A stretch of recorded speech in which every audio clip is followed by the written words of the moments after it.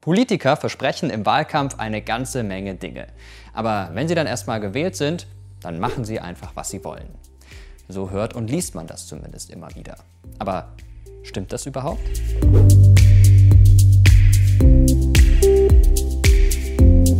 Das hier ist der Landtag von Rheinland-Pfalz. Wer hier sitzt, der hat eins geschafft. Er oder sie wurde gewählt.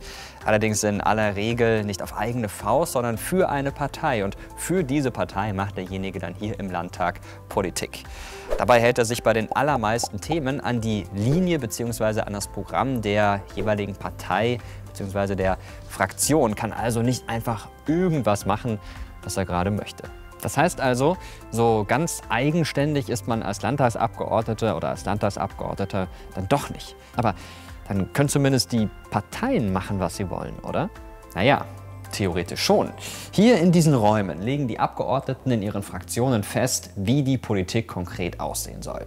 Im besten Fall orientieren sie sich dabei an Wahlversprechen, aber eine Pflicht dazu, die gibt es nicht. Allerdings ist ganz entscheidend, nur selten hat eine Partei so viel Macht, dass sie Gesetze allein durch den Landtag bringen kann. Zuletzt war das in Rheinland-Pfalz zwischen 2006 und 2011 unter der SPD der Fall. Die Regel ist, es gibt ein Gesetzgebungsverfahren, bei dem sich eine Partei die Unterstützung anderer Parteien suchen muss, um Gesetze durchzubringen. Los geht es dabei mit der Gesetzesinitiative, also dem Vorlegen eines Gesetzesvorschlags. Der kann entweder von der Landesregierung kommen, von einer oder mehreren Fraktionen, von mindestens acht Abgeordneten oder durch ein Volksbegehren. Und über diesen Gesetzesvorschlag wird dann im Landtag debattiert, in sogenannter erster Lesung. Anschließend geht dieser Gesetzesvorschlag in einen oder mehrere Ausschüsse, also zu Fachpolitikern verschiedener Parteien. In den Ausschüssen wird noch einmal debattiert, es wird an dem Gesetzesvorschlag geschraubt und dann geht er wieder zurück an den Landtag. Und da sind wir auch schon bei der zweiten Lesung. Da wird noch einmal diskutiert und am Ende gibt es eine Abstimmung. Oder aber es folgt noch einmal eine Lesung, es wird noch einmal diskutiert und erst dann wird abgestimmt. Ja, und wie so eine Abstimmung aussehen kann, das kann man hier ganz gut erkennen. Jeder Landtagsabgeordnete gibt seine Stimme für oder gegen das jeweilige Gesetz ab oder aber er enthält sich.